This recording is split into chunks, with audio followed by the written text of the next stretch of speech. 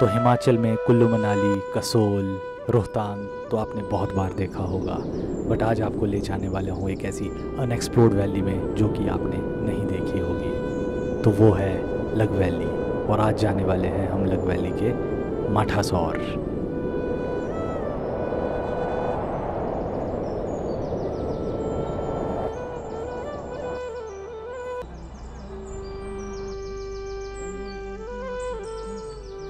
तो ट्रिप की शुरुआत होती है मेरे घर से और मैं आज अपनी फैमिली को भी ले जाने वाला हूँ, जठानी विलेज। तो माठासौर तक गाड़ी नहीं जाती है, गाड़ी जाएगी जठानी विलेज तक, जो कि है कुल्लू से 14 से 15 किलोमीटर दूर। तो चलिए, सफ़र में चलते हैं और बताते हैं आपको लगवैली की खूबसूरती। तो दोस्तों, अभी पहुँचे हम गांधीनगर। तो गांधीनगर जाना जाता है कि यहाँ के हॉस्पिटल के लिए। और दूसरा यहाँ पे काफ़ी अच्छे अच्छे रेस्टोरेंट भी हैं। और साथ में यहाँ पे काफ़ी ज़्यादा फॉरेनर रहते हैं बहुत टाइम से। तो मतलब एक तरह से कह लो कि यहाँ के लोकल हो चुके हैं फॉरेनर जो कि यहाँ गांधीनगर में रहते हैं। तो मेरे घर से कुल्लू का रास्ता लगभग 14 किलोमीटर है, जिसमें कि आपको आधा घंटा कम से कम लग जाएगा। तो फाइनली पहुँच चुके हैं हम कुल्लू में। तो कुल्लू पता ही आपको फ़ेमस है अपने कुल्लू दशहरा के लिए। ऐसा नहीं कि यहाँ सिर्फ़ एक दिन का दशहरा होता है बल्कि सात दिन तक चलता है यहाँ पे दशहरा। और यहाँ के जो मेन लॉर्ड हैं वो हैं लॉर्ड राम और सबसे ख़ास बात यहाँ की ये है कि यहाँ पे जो अश्वमेव यज्ञ में राम भगवान ने जो मूर्ति बनाई थी वो यहीं पे है कुल्लू में। तो कुल्लू सिटी बहुत अच्छी है यहाँ पे आपको सब कुछ मिल जाएगा। अगर आपने शॉपिंग करनी है शॉपिंग के लिए भी आ सकते हैं और जो दूसरी बात है, सिनेमा हॉल भी बहुत बड़ा है, हॉस्पिटल से लेकर ए टू जेड आपको यहाँ पे मिल जाएगा।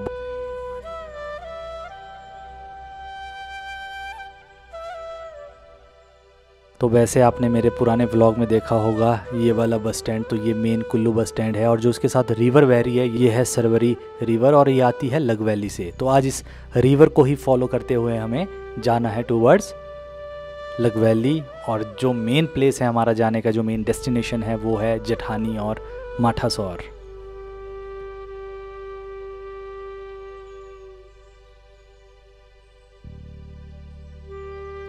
तो ये खूबसूरत सी जगह थी कुल्लू। तो अब हमें क्या करना है? हमें जाना है टूवर्ड्स लगवैली तो सीधा जो रोड आगे को चला गया, वो जाता है टू टूवर्ड्स मनाली। बट हमें ये वाला रोड नहीं लेना है, बल्कि लेना है लेफ़्ट वाला, जो कि जाएगा गवर्नमेंट स्कूल से सीधा पीछे को और जाएँगे हम टू टूवर्ड्स लगवैली तो रास्ता बता दूँ, ये वन वे है और जाने का रास्ता ये वाला है, आने का दूसरी साइड से है।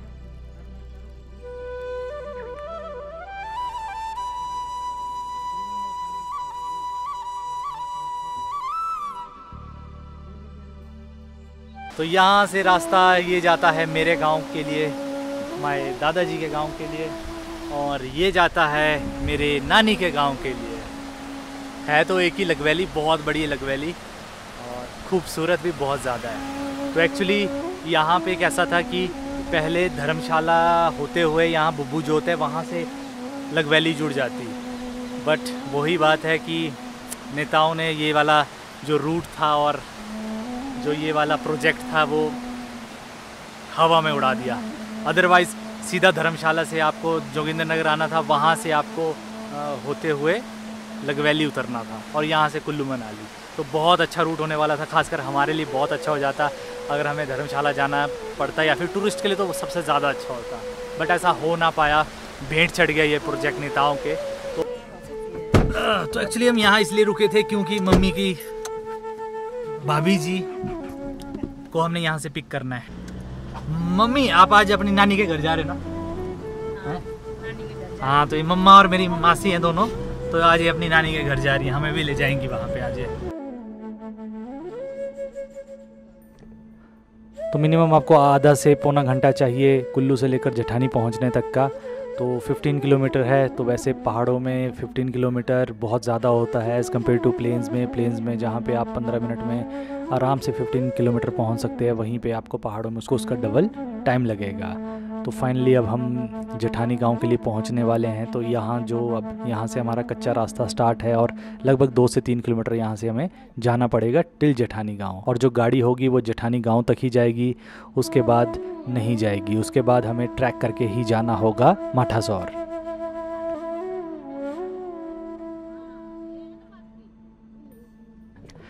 तो कुछ देर और चलने के बाद फाइनली हम पहुँच चुके हैं उस खूबसूरत गाँव में जिसका नाम है जेठानी। तो बहुत ही ज़्यादा खूबसूरत गाँव है और यहाँ के घर जो हैं वो और भी ज़्यादा खूबसूरत हैं। कुछ एक बहुत पुराने आर्किटेक्चर पे बने हैं, कुछ एक नए और कुछ एक तो दोनों का मिक्सचर हैं। तो बेहद खूबसूरत गाँव है ये जठानी।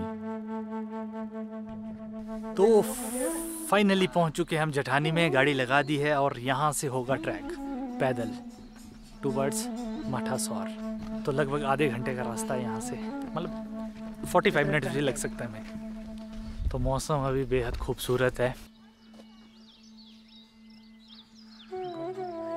तो जो आपको वाइट वाइट दिखाई दे रहा है बीच में तो वो लगे सेब के पेड़ के ऊपर नेट ताकि उनको हेल स्टोन से बचाया जा सके। हाँ तो खाना मुड़ी भी जाऊँ बे।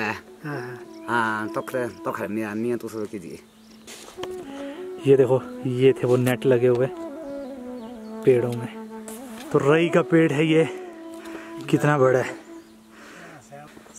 तो अब बियर गिल को थोड़ा खाना ज़रूरत पड़ती है। तो इसीलिए हमारे पास जंगलों में काफ़ी कुछ होता है खाने को। जैसे ये बेरीज तो आधे घंटे पैदल चलने के बाद थोड़ी सी एनर्जी कम हो चुकी है। एक्चुअली सीधी खड़ी चढ़ाई यहाँ पे। बिल्कुल ऐसा नहीं था स्टार्टिंग में प्लेन हो, कुछ ऐसा हो। जहाँ से गाड़ी रखी, वहाँ से बिल्कुल खड़ी चढ़ाई। तो ऐसी खड़ी चढ़ाई में हालत पतली हो जाती है। तो इसलिए ट्राई करें कि सांस अगर कम फुलानी तो नाक से सांस लें और मुँह से छोड़ें। ज़्यादा बेटर रहेगा। डेस्टिनेशन से ज़्यादा दूर नहीं है, पास में ही है। वहाँ जहाँ आपको लाइट दिखाई दे रही बस वो हमारी फाइनल डेस्टिनेशन है। तो फाइनली इस खूबसूरत लोकेशन पहुँच गए गए हैं हम, जिसका नाम है माठासौर।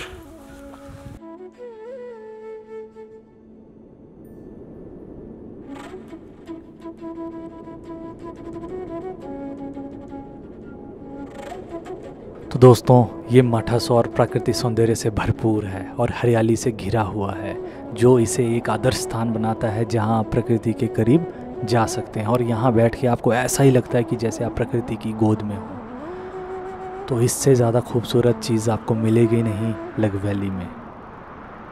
तो इसीलिए अगर कभी भी ज़िंदगी में मौका मिला लग वैली में आने का तो इस खूबसूरत से प्लेस को ज़रूर विज़िट करना।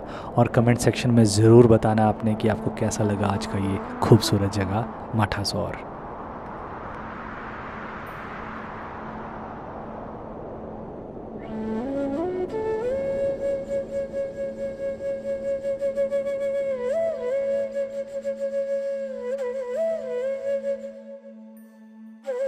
थोड़ी देर पहले यहाँ पे इतना सब दिखाई दे रहा था, अब सब बंद हो चुका है।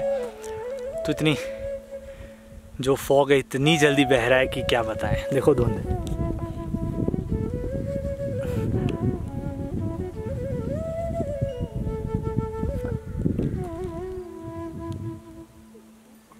तो यहाँ पे अपने दो दोस्त मिले हैं, भूमतीर से। एक नाम की दूसरा। शर्म है है, नाम दूसरा एक राघव और दूसरा अनुज। अनुज। तो बोला आजकल स्कूल में मस्ती चली है। स्कूल बंद है तो उससे ज़्यादा मज़ा कुछ और हो नहीं सकता बोला। है? स्कूल की याद आ रही है? थोड़ी थोड़ी। थोड़ी थोड़ी हाँ थोड़ी थोड़ी याद ला रही है। झूठ ला रही तो बोल दे। वो याद ए दो ये तो बड़ी बार ला रही है याद। हो। सही है। तो ये जो माठा सौर है इसलिए बोला जाता है यहाँ कुछ सौर क्योंकि यहाँ छोटा सा एक तालाब है। तो जो मेरे पीछे दिखाई दे रहा है आपको, वो मंदिर माता फुंगनी का है, हमारे ही कुलज माता का। तो इसी को, इसी के साथ इस खूबसूरत जगह को अलविदा करने का टाइम आ चुका है। महाभारत काल ख़त्म हुआ, उसके बाद जब देवी देवता नीचे से आए मीन्स जो हमारी माता थी, माता फुंगनी तो वो दिल्ली से आते हुए उन्होंने यहाँ पे आराम किया थोड़ी देर। उसके बाद फिर ये मंदिर बना है, इसमें कृष्ण भगवान, श्री कृष्णा और माता दोनों का मंदिर है। जो मेरी मम्मा है, उनके जो कुल देवता हैं, वो श्री कृष्ण हैं और हमारी कुल देवी माता फुंगनी है। तो बेहद खूबसूरत है ये माठासौर अब वापस चलते हैं जेठानी की ओर, जहाँ पे मम्मा वगैरह बैठी हैं। तो अब लंच टाइम हो चुका है हमारा। थक चुके हैं बहुत। लगभग एक डेढ़ बज चुके हैं और भूख भी बहुत ज़ोरों से लगी है। तो अब ऊपर टॉप पे पानी नहीं था तो इसीलिए हम एक ऐसी जगह पे रुके हैं जहाँ पे पानी आ रहा है और वहीं पे बैठ के हम पानी पियेंगे और खाना भी खाएँगे। तो खाना हम पैक करके लाए हैं। तो कसम से खूबसूरत है, बहुत खूबसूरत, बहुत मज़ा आया ऊपर जाने का। यहाँ से पूरी जो हमारे गाँव वाली साइड है मतलब जो कालिंग शालिंग वाली जगह है त्यून तक यहाँ से दिखता है, पूरा क्लियर दिखता है। और इवन जो स्नो कैप माउंटेन है, अभी भी फुल लबा लब भरे हुए हैं भाई। तो चलो कुछ खाना खाते हैं और फिर। तो ज़्यादा हम यहाँ कुछ लाए नहीं है। थाली वगैरह प्लेट वगैरह। रोटी ली है, उस पर सब्ज़ी डाली है और खा लो भाई। जब ऐसे जंगलों में आए हो तो ज़्यादा ज़्यादा लग्जरी चीज़ें की उम्मीद नहीं करनी चाहिए। जितना भी मिलता उतना खा के अपना इंतज़ाम करो। फाइनली पहुँच चुके हम सड़क में। हाँ। तो थोड़ा ट्रैक करने के बाद तो लगभग आधा पौना घंटे तक ट्रैक किया आते वक्त। तो जाते वक्त लगेगा आपको 45 टू वन आवर टाइम आते वक्त लगेगा आधे घंटे से पौना घंटा। और अब जाना है हमने जठानी गाँव में।